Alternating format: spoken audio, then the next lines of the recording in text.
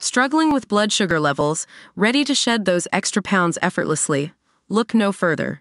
Sugar Defender, the number one rated blood sugar formula, is here to transform your health and help you achieve your wellness goals. Click the link in the video description to get started with Sugar Defender today.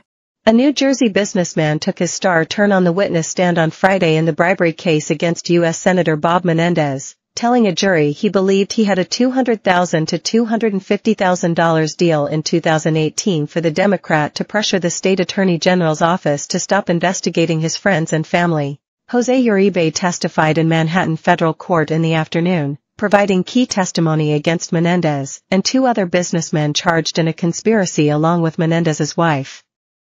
Next week, Menendez's lawyers will get to cross-examine the naturalized U.S. citizen. Next week we get the truth, Menendez said just before stepping into a car that carried him away from Manhattan Federal Court, where he has been on trial for the last month. Uribe, 57, who pleaded guilty to charges in a March cooperation deal, was the star witness for the government in its bid to win a conviction against the senator, who once held the powerful post as chair of the Senate Foreign Relations Committee.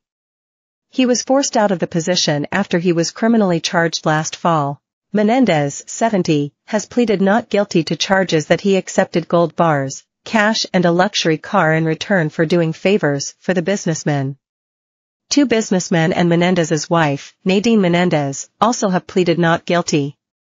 Nadine Menendez's trial has been postponed until at least July after she was diagnosed with breast cancer. Uribe testified that he was close friends with Wael Hana, who was on trial with Menendez, when Hana told him in early 2018 that New Jersey state criminal investigations swirling around the trucking business of a friend of his and his own insurance business could be largely put to rest if he was willing to spend $200,000 to $250,000. Uribe said Hana told him that he would go to Nadine Arslanian, her name before she married the senator, who had begun dating Menendez that year, and then Nadine would go to Senator Menendez, although Uribe did not testify about how the couple could resolve multiple investigations. Uribe said he held a July 13, 2018 political fundraiser for Menendez, which the senator attended, raising $50,000. He said he attended an after-party with Menendez and Arslanian that included cocktails, along with some laughs, some jokes, and some dancing, but there was no mention of the work he expected Menendez to do on his behalf. It was a crowded and loud place, Uribe said. He said his confidence that the deal was working faded in the fall when an investigator from the Attorney General's office asked to interview his employee. I was not happy, he said. Assistant U.S. Attorney Lara Pomerantz showed jurors a series of text messages between Uribe and Hana in which Uribe pressed his friend to get the senator to stop the criminal probes. Please be sure that your friend knows about this, Uribe wrote to Hana in one text. Pomerantz asked whom he was referring to as your friend. Senator Menendez, Uribe responded.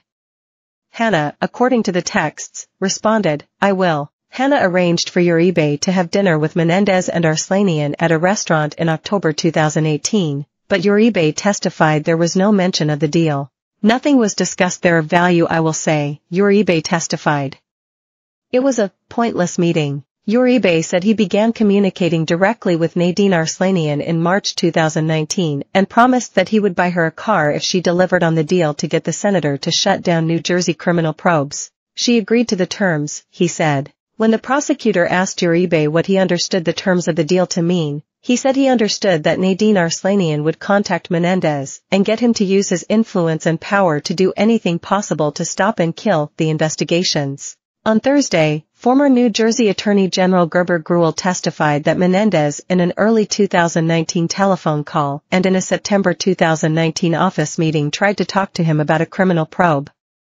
Gruelle said he followed his policy and refused to do so, telling Menendez to contact defense lawyers so they could reach out to trial-level prosecutors or the judge. Uribe, of Clifton, New Jersey, pleaded guilty in March, saying during his plea that he gave Nadine Menendez a Mercedes-Benz in return for her husband using his power and influence as a United States Senator to get a favorable outcome and to stop all investigations related to one of my associates.